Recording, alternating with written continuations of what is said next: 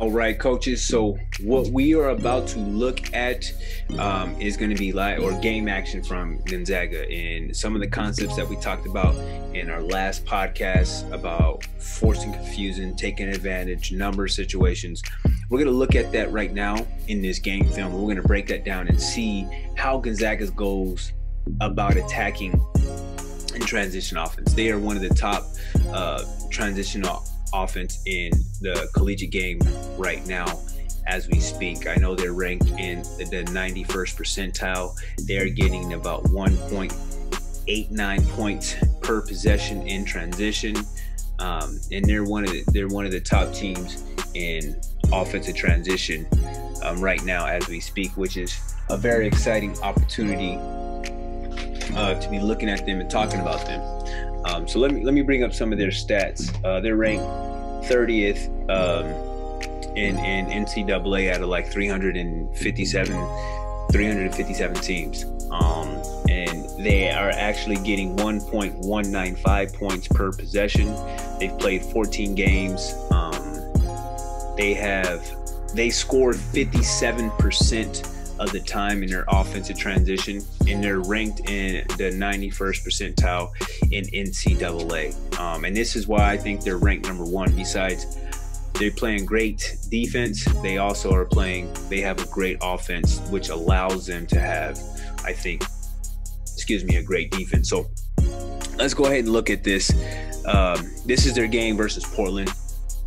We got multiple clips, but uh, I'll go back from time to time and so in the previous podcast, I was also talking about lanes and helping out your point guard. So if you're a coach that wants to do transitional lanes and you have sides of numbers, right? So I call this, you know, if you go from left to right, if you're looking at it, if you're on offense, looking at your the backboard, um, it goes from lane one, the middle of the floor is lane two, and the right side is lane three. So one, two, and three. And the reason why I broke that down would be, for an example, is if my point guard got the ball in lane three I do not want him to make a pass from lane three to lane one. He has to get to lane two to make that pass to lane one to shorten up the pass. Um, so that's why I really have lanes, and then it allows you know accountability of hey, you know, two runs to the two side, you're running lane one. Three runs to the three side, you're running lane three. And my big man, whoever doesn't get the rebound, is running lane two. You're running down the floor, uh, rim runner whatever the case may be. So if that's something you're interested in, something I like to do, go for it. Add that to to your package um, to help you out. But let's go ahead and look look at some of this film by uh, Gonzaga. So Portland has the ball, forced a long shot, so they got a rebound. So right now. This is where, like, we practice this all the time. I know we practice this, right? Where, you know, the defense has to get back, and usually they have, you know, the offense only has three guys, and defense uh, or or the offense has five guys, defense only has four. But if you look at as we let this play out, right? We we we created pressure on the defense. I think with the blowout pass, right? So we talked about the three series in our our last podcast with the blowout attack and ignite. That's why I think blowout is very important. But what was very key about this is number three from Gonzaga sprinted. He is on a sprint. He is on a sprint and he's putting pressure and beating the defense down the floor. This now makes that transitional pass so much easier by just sprinting ahead of the defense. So he sprints ahead of the defense.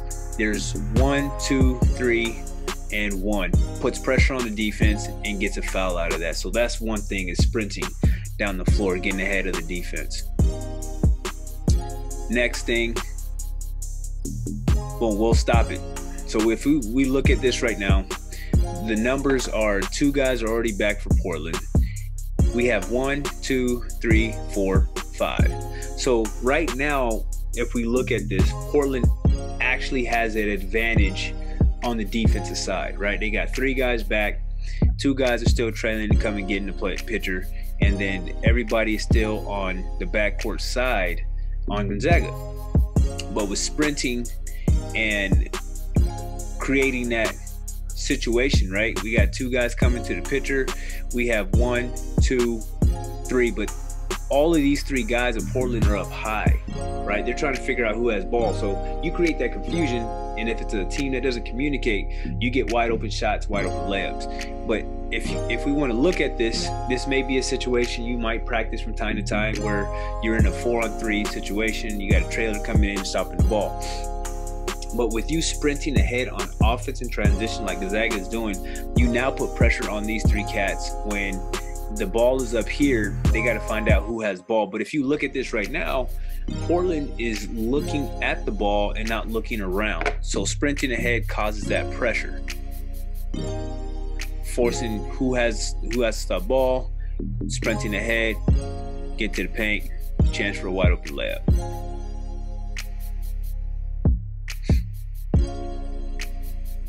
Again against Portland, boom, they get it and they sprint zero second decision.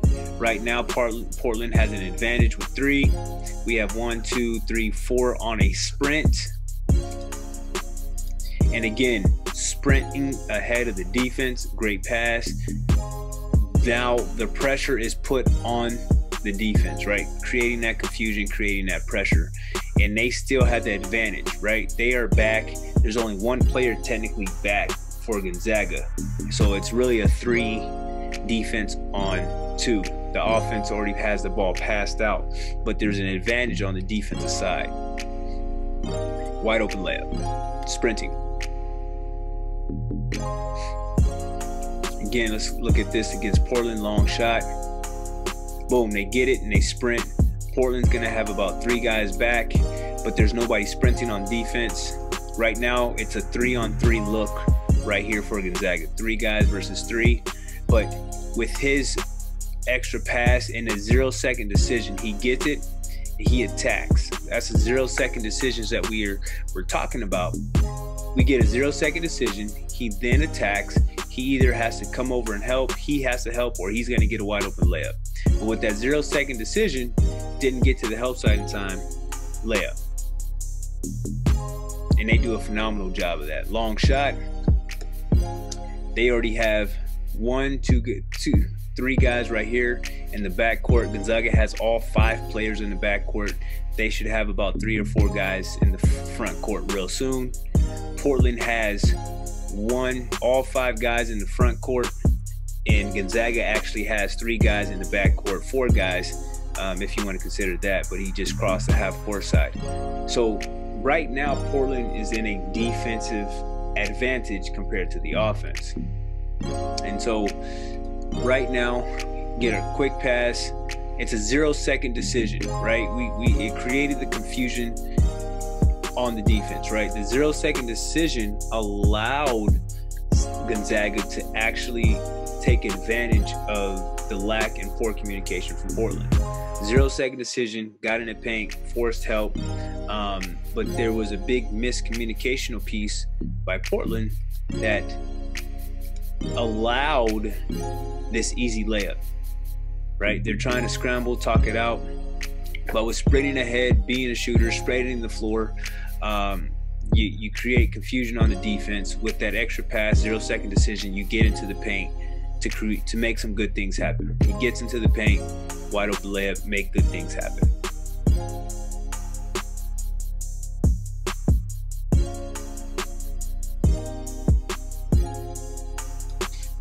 Good. Portland has all all guys back. Gonzaga has only two guys down the floor. Push the ball, blowout, sprinting ahead. Sprinting ahead. Portland has that advantage right here. Portland has that advantage with his ability to push the ball ahead, sprinting the floor, getting out. Look at the form. That means he's trying to push and put pressure on that defense. Sprinting ahead, you create pressure on the defense, layup. So find out what, what's important. What are your important concepts that you want to master? So this is Gonzaga versus Pepperdine, their recent game. And Gonzaga forced a little turnover. Pepperdine has three guys in the in the backcourt, trying to get two there. So right here, if we look at it, it's almost like a three on three, right? One, two, three versus one, two, and three. one player has the ball, one player can get here and get Suggs, um, and then this player can be filling in. However, with the extra pass, get into the paint, we have now two guys in this vicinity, nobody on Suggs. You get a wide open shot. And then, like I told you before, you actually get great offensive rebounding in transition. So if you get this shot, Suggs miss, and JU comes and he gets an offensive rebound because when you're in transition, defense doesn't necessarily have a man, they got a spot if they're outnumbered. Um, but you don't have your man right away in transition until you get set. And if you do miss that shot, you have a better chance of offensive rebound in transition because of that. And uh, JU was able to get great offensive position for an easy rebound, put back.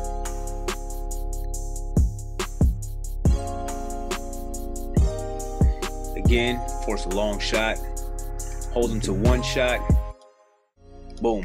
Pepperdine has four guys back. We have four guys in the backcourt for Gonzaga, right? So right now, defense is at an advantage. But with Jalen getting into lane two, we have a rim runner putting pressure on the middle guy in the paint. We have guys sprinting on the outside lanes.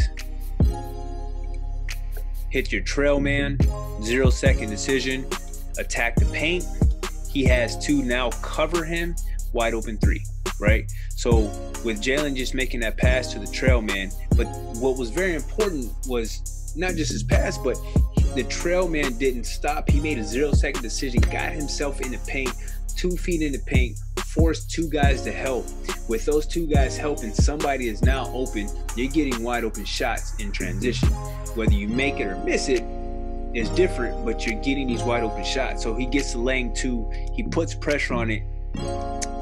Big man gets in the paint, lands on two, turns, step, pass. Great chance for offensive rebounding because they're not paying attention. Uh, you get great opportunities for easy baskets.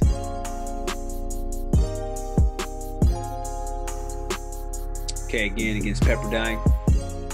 Lob, consider that a turnover. Gets it. Jalen is now is pushing the ball. Try to stop the ball early. One, two, three, four. There's pressure here. And then we have one, two, three, four guys from Pepperdine trying to run back to the front court to stop the ball. But right now, Jalen's in the back court. Um, and he's getting it and he's now pushing it, creating that pressure. Multiple effort play. Multiple effort play right here. Loses the ball, stumbles, fumbles, falls on it. This is where it's very important transition. Makes that pass back, this extra pass. Right now we have one, two, three, four guys on Jalen right here. Trying to get the loose ball. Multiple effort plays right here swing it, swing it, get up, and he gets wide open layup. Right? This is a lack of communication by Pepperdine and not seeing everybody on the floor. Right? Everybody congested. They have shooters, sport. The floor is spaced. So since the floor is spaced, that's putting a lot of pressure. Somebody's gonna have to get out there. But with this great multiple effort play by Suggs, uh, this is giving Gonzaga an advantage, right? They were at a disadvantage, and it's if you look at this, it's only it's one, two, three, four, five versus one, two, three, four, right? Gonzaga only has four players on offense. Pepperdine has all five guys on defense. So that's where my drills come from of you learning how to create advantages in disadvantaged situations um, with multiple effort plays. So this is a great opportunity um, for Pepperdine to get a stop. However, with multiple effort plays and setting up and creating help, you get wide open layups.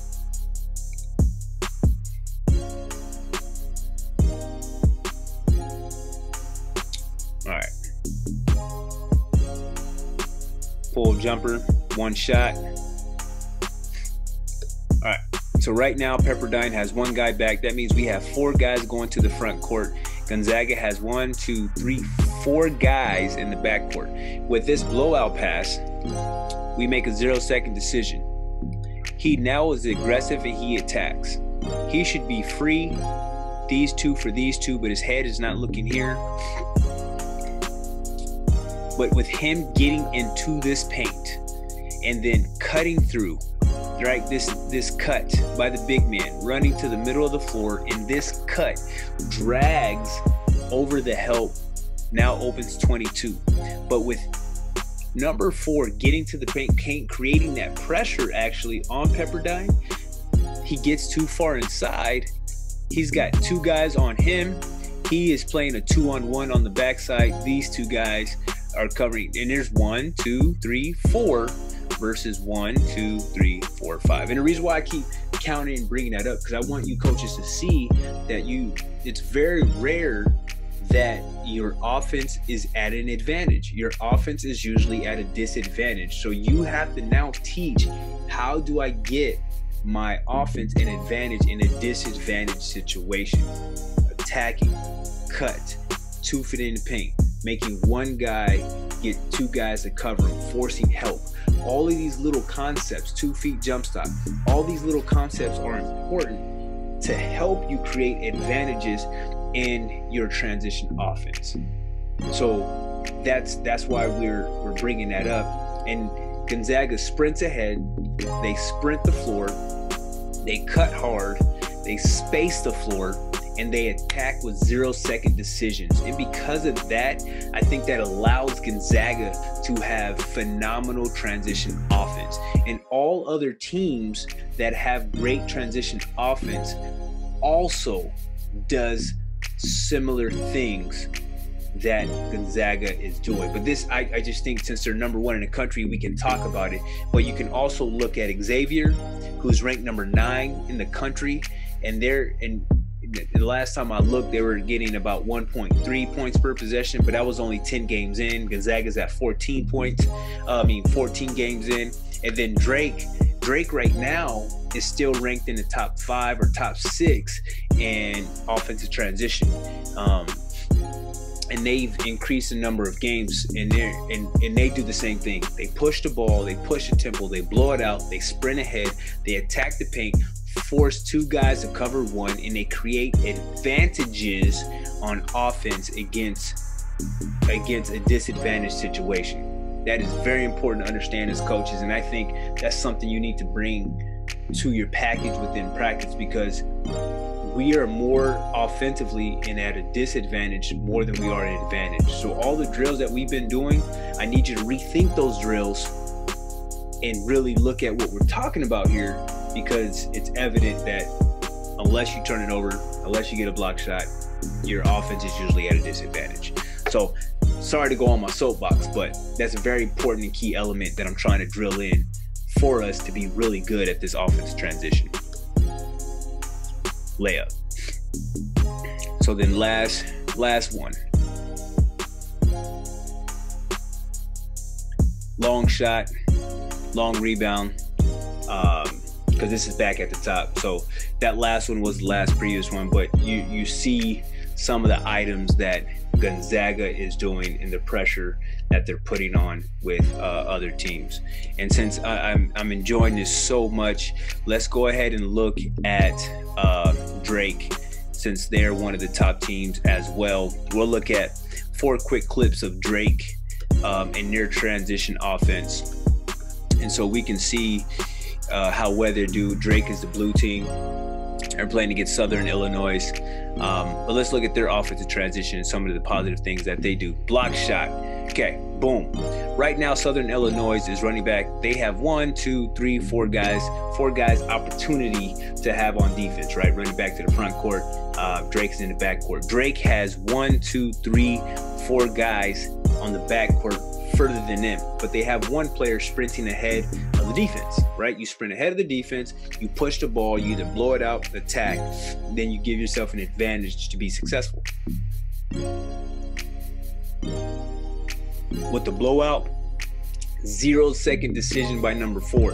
I'm either going to attack you, swing it, shoot it, but it's a zero second decision. They're not thinking about it too many times. That creates pressure now on the defense. Zero second decision. Who's going to be my help? How am I going to be able to get to rotate, attacking? Great opportunity to get to the paint. Zero second decision, gets into the paint. Even though he shoots this shot, he has two guys helping him. but he has number one right here at the wing, wide open shot. So he did his job, two feet in the paint. He ended up getting this shot, but he could have made a jump shot, kicked the ball to this wing. Um, easy money right there as well.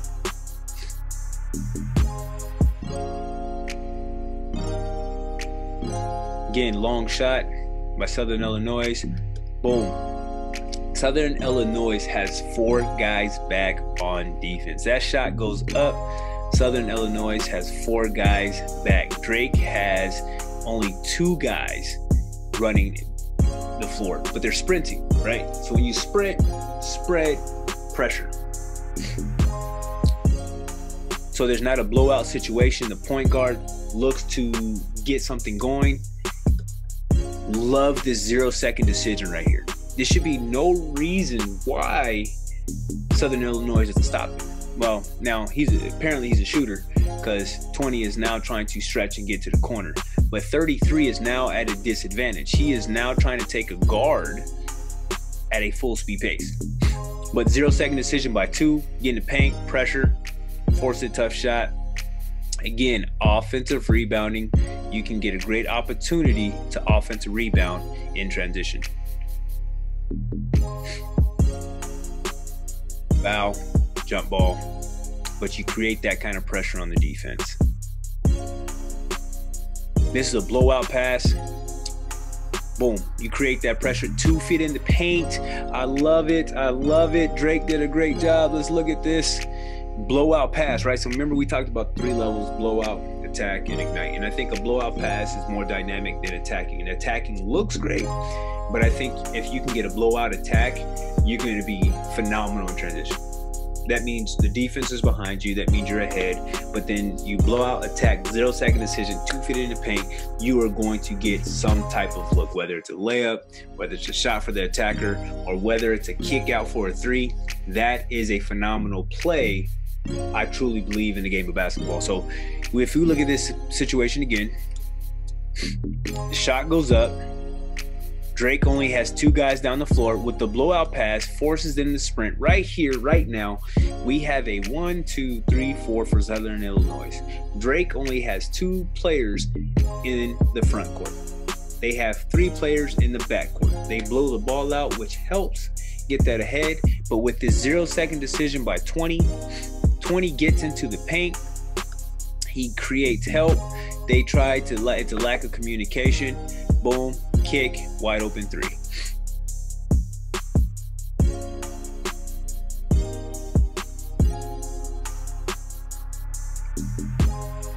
Last one, uh, I believe, by Indiana State from Drake. Great defense on Drake. Again, great defense leads to great offensive transition. So don't sleep. I know everybody's uh, big on defense, but you know, if you haven't heard my podcast, Offense Wins Championships, they're both very important because they one correlate to the other. One is poor, the other one won't be as good. But if one is really good, the other one can be really good as well. It won't be as bad. But you need both to be really, really good. But offense wins championships, defense gives you a chance. And that's a whole nother thing. Check that podcast out. But let's continue with this film with Drake against Indiana State. Drake forces a tough shot. They get a rebound. Takes off. I love it, right? He gets it. He sees the rebound being being secured. He is in a dead sprint. You know, it, and I see a lot of games what happens that a lot of guys sprint a little bit to half court and then they backpedal trying to see the ball. Bro, just tell your players to sprint get the head around, look over their shoulder as they are sprinting. Sprint down the floor, spread the floor, create the gaps, then you get more easy shots. But I love this look, right? We get it, force a tough shot. We now get the ball sprinting, sprinting until transitional lanes. One is going in lane one, one is going in lane three. Now the floor is being spread. We're in a four on four situation one, one, two, three, four versus one, two, three, four. Numbers are even. It's a four on four situation. But with the point guard attacking, right? He didn't have the blowout, but with the point guard attacking, with the aggression that he does, I, I like to say a, a, Russell Westbrook type of, of, of attack creates so much pressure on the defense. Now, who's going to stop the ball? Creating help allows you to get open shots and uh, open threes. I love it. With him being able to attack, he forced the wing player that was covering the wing. He now has to help. He's still he's putting pressure on him to see the ball. The wing sees no eyes cut behind, right? So he's looking at the ball, anticipating who's going to stop the ball. The wing sees that. He cuts behind because he's not getting looked at. Easy money, easy backdoor, easy shot. Great job. And that's all by sprinting down the floor, not jogging, not tippy toeing, not worrying about getting the ball. It's sprinting. The ball will come to you if you sprint. You will be set and you'll be ready to go. So we looked at two teams, two top teams in offensive transition Gonzaga and Drake. And there's some key things that we have to remember that I think all coaches must do in their offense, and that's sprint and I think space. Um, I think you should add those two to to your concepts with it, right? Sprint and space, those two things. You sprint, you space, um, and then and then have levels of how you want to go about your transition. Blowout, attack, ignite, right? If you can't blow out, um, then if you can't blow out and attack, and if you can't just attack, then ignite your offense. Um, and I think you need to again create advantages and disadvantage situation. If you're in a four on four, how do you get the defense to move to create an advantage for an easy shot? If you're in a, a, a, four on three, where there's three offense, four defense, how do you get two guys to cover one? So I, I want to leave you guys with those thoughts. And again, if you go to coachesmind.com, um, we're going to have some great drills for you to install in um, into your program that you can use um, for your program in the season, off season, whatever works best uh, for you. Check that out, um, and we're excited to be giving you that opportunity to check that out. And if you like our content, be a member. It's less than 20 cents a day to be a member. Less than 20 cents a day to be a member. Um, and I know you guys spend more on food and other things in this world than 20 cents a day. So this is a great opportunity because we're dropping great knowledge for you. I appreciate it. Thank you, coach.